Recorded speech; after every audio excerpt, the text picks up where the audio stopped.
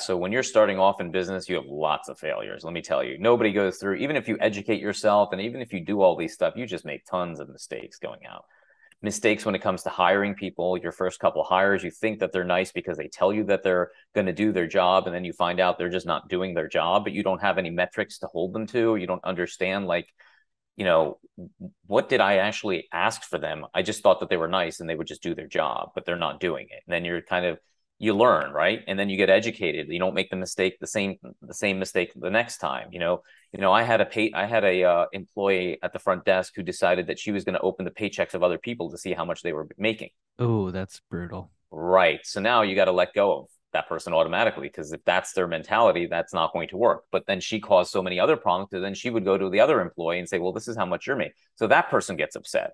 Mm. You you realize that this is not the type of like uh you know type of people that you want in your business, and they're just causing problems. And this is going to be more of a problem in the future, right? Yeah. And of course, they're the loudest to leave too.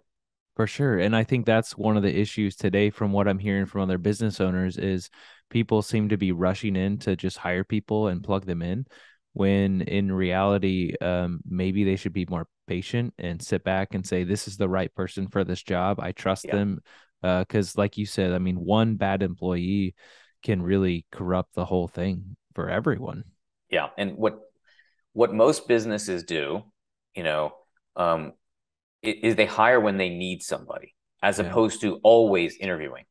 You're always interviewing. So if somebody something doesn't work out, you have, you have a go-to.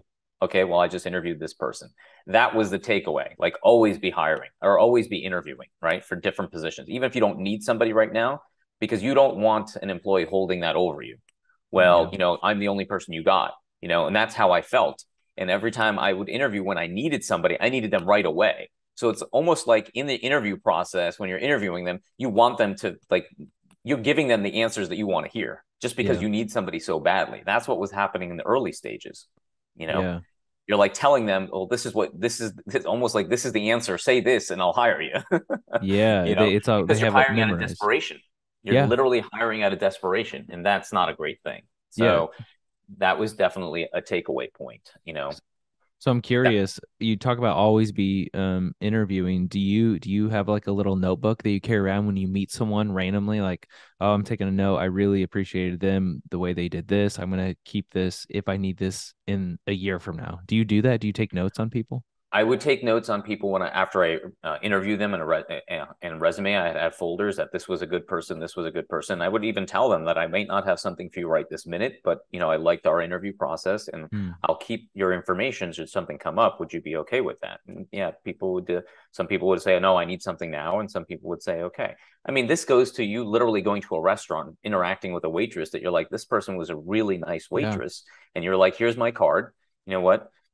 I might have this position in the future would you be interested in at least talking to me you know yeah and yeah sometimes they, they were like yeah i wanted to do this you know i wanted to get out of this or something like that just if you see somebody who's literally has a good communication skill which sometimes it's so lost like people don't even look yeah. at you in your eyes they're not greeting mm-hmm. you they're not and you see that in somebody and you're like wow this person could be great for this